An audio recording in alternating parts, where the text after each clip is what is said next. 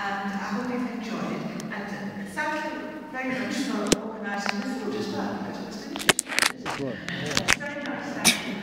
Um, and haven't we had a evening? Oh, aren't we to live here? We've got the sea, we've got the countryside, we've got all this tradition and heritage that we're trying to keep going a little bit. Not by very much, because it's a little bit, and we're so lucky to have so much, I think. So this is the West Westmoreland, 这是啥